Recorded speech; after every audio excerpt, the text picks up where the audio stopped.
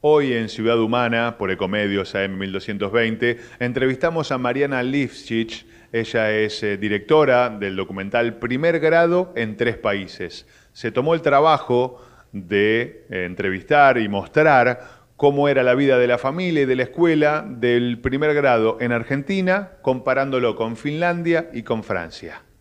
Obviamente, esas conclusiones están en el documental. Ahora, lo que abrimos el juego es a la grieta que se forma entre la escuela estatal de gestión estatal y la escuela de gestión privada. Justamente porque en Finlandia hablaba de la, de la calidad de educación, pero la plata que el Estado invierte en los sueldos de los docentes, en la capacitación que van a tener en el aula, pero principalmente lo bien que cobran eligen los profesionales para dar clase en los colegios es muy prestigioso, tanto como la educación, tanto como la salud, como la seguridad.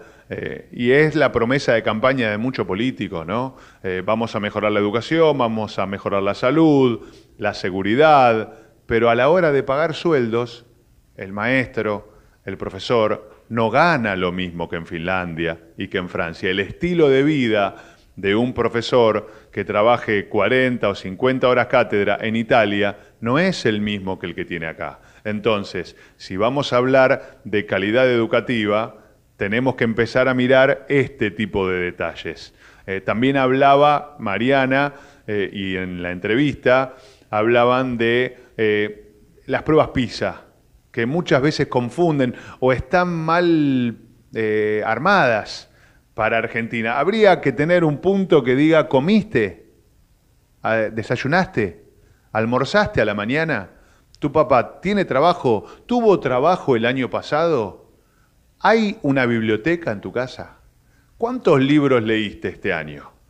Eh, ¿Te apoyan en el secundario? Por ejemplo, hablábamos cuando fracasaron las pruebas PISA, se habían sumado muchos alumnos al esquema del secundario para todos, eh, a la nueva escuela secundaria. Y obviamente, eh, chicos que no tienen acompañamiento en la casa, la primera generación de alumnos que se suman al secundario no va a hacer lo mismo. Por eso, a la hora de evaluar, a la hora de tomar decisiones, tenemos que poner todas las cartas sobre la mesa. Y ahí sí mirar y decir, ¿es un problema del docente? Porque siempre cae todo en nosotros. Y digo en primera persona porque ustedes saben que soy profesor, periodista y locutor.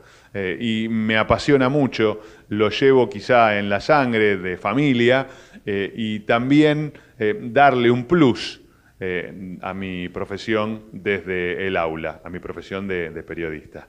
Eh, por eso es que compartimos y nos ocupamos todos los días, no solamente cuando sale en la portada de los diarios el tema de la educación. Muy bueno el documental, primer grado en tres países de Mariana Lifshitz, y tener en cuenta a la hora de evaluar las eh, pruebas PISA todo el ámbito eh, escolar, todo el ámbito familiar. cobra un sueldo, tiene un subsidio, bueno muchos temas para hablar, pero seguramente en las próximas emisiones seguiremos hablando en Ciudad Humana, lunes 4 de la tarde. Te invito a que te sumes, mi nombre es Adrián Filinich. Muchas gracias.